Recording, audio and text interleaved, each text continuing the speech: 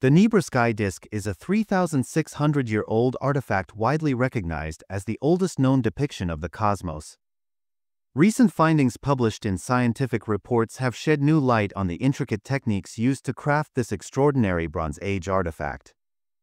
The sky disk was discovered in 1999 on the Mittelberg Hill near Nebra, Germany, by treasure hunters Henry Westphal and Mario Renner. Found alongside bronze swords, axes, a chisel, and spiral armbands, the artifact was sold to private dealers before being recovered in 2002 through a police sting operation. It is now housed at the State Museum of Prehistory in Halle, Germany, and has been part of UNESCO's Memory of the World Register since 2013. Adorned with gold inlays depicting celestial bodies such as the sun, moon, and stars, the disc is attributed to the Únětice culture, which thrived during the Central European Bronze Age, 2300 to 1600 BCE. Despite its relatively small size measuring about 12 inches, 31 centimeters, in diameter and just a few millimeters thick, it represents a profound understanding of astronomy and metalworking. The recent study by the State Office for Heritage Management and Archaeology Saxony-Anhalt, in collaboration with the Otto von Guericke University Magdeburg and Delta Sigma Analytics GmbH, reveals that the disk was crafted through a highly sophisticated hot forging process. Using advanced metallographic techniques, including energy dispersive X-ray spectroscopy, electron backscatter diffraction, and light microscopy, researchers uncovered a manufacturing process involving approximately 10 cycles of heating to 700 degrees Celsius, forging, and annealing.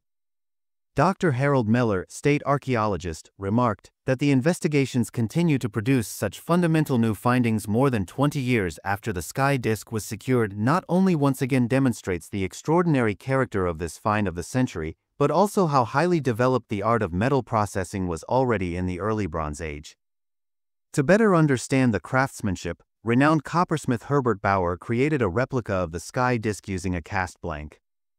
Bauer's experiments revealed that the original artifact required fewer forging cycles than the replica, suggesting that the original cast blank was both larger and thinner. These findings underscore the remarkable skills of Bronze Age metalworkers, who were not only proficient casters but also adept at advanced techniques such as hot forging. Archaeologists believe the sky disk played a significant role in the agricultural and ritual practices of the Únětice culture, serving as a tool for astronomical observation and a symbol of cosmic order. Its layered creation over four distinct phases and eventual deposition as a ritual offering highlight its cultural and spiritual importance. Dr. Miller emphasized, the sky disk shows how important it is to re-examine seemingly well-known finds when new methods become available.